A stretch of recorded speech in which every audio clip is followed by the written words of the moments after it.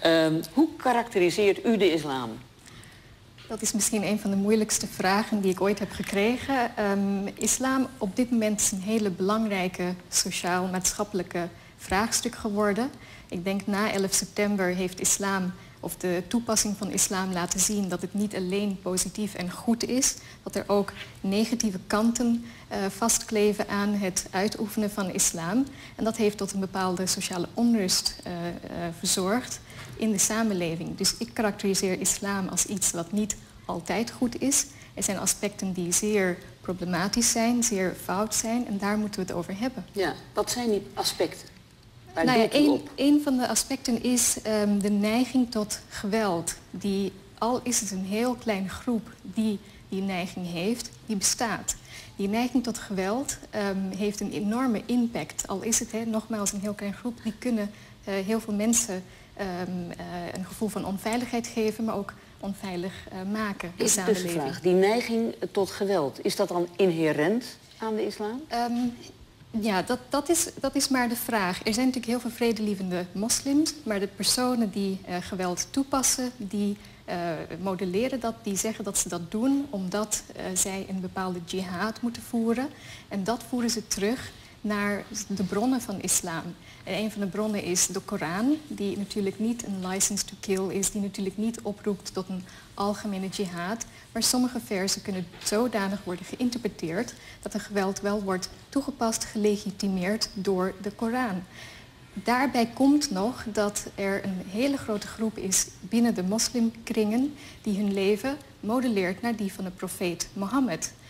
De profeet Mohammed heeft heel veel aspecten. Wij kennen hem als, uh, als, een, um, als een, iemand die geweld toepast, als iemand die een pedofiel is. Dat zijn de meest zichtbare uitspraken over Mohammed. Hij heeft heel veel kanten aan zich. Maar een van de kanten is ook dat hij oorlog heeft gevoerd. Hij was krijgsheer. Hij was krijgsheer, hij was stedenbedwinger, hij schuurde geweld niet. Hij schuurde het niet om mensen uit te moorden. Hij was ook goed voor zijn vrouwen, hij was ook goed voor wezen, hij was ook goed voor de slaven. Hij had ook hele goede kanten. Maar het probleem uh, is dat als uh, heel veel moslims hun leven modelleren naar die van Mohammed, zij een bepaalde legitimatie vinden in het gebruiken van geweld. En dat doen ze op het moment waar Mohammed dat ook had gedaan, als zijn eigen geloof bedreigd wordt, als hun eigen traditie bedreigd wordt. En dat heb je per definitie altijd in de ontmoeting van moslims met westerlingen. Hun eigen geloof bedreigd wordt. Is het een geloof of een ideologie? Of is het gewoon allebei?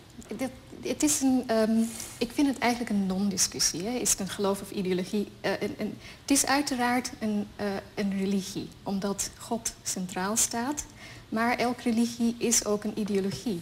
Het gaat over ideeën, mens en maatschappij. Je kunt het niet andersom zeggen. Je kunt niet zeggen elke ideologie is een religie. Dus het heeft beide aspecten. Ik denk dat voor sommige mensen, sommige moslims, alleen het religieuze aspect telt. Maar natuurlijk zitten er ook ideologische aspecten in de beleving van hun religie. Maar ik vind het een non-discussie als we het hebben over hoe gaan we met moslims om in deze samenleving. Wie ben ik dat ik in aanwezigheid van Naima uh, over de islam praat, maar mij wil het weer voorkomen.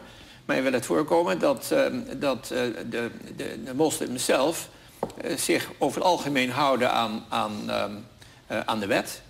En aan fatsoenlijk optreden, zal ik maar zeggen. En dat er dus een, een mindere en kleine minderheid is die zich fixeert op dat deel van de islam waarvan uh, mevrouw Taher zegt dat dat, dat leidt tot geweld. En daar, daar moeten we ons op concentreren. De godsdienst daar laten waar zij thuis hoort, namelijk in het privédomein. Maar... Ik vind dat, dat de rechterlijke macht en de politie zich moeten beperken tot de zichtbare manifestaties, dat wil zeggen het gedrag. En, en uh, de godsdienst uh, die daar natuurlijk achter ligt, met rust moeten laten. en ik onderschrijf geheel en al wat mevrouw Tahir zegt. Het is dus ook niet zo dat de islam een bedreiging vormt voor het Westen. Integendeel, het Westen vormt een bedreiging voor de islam.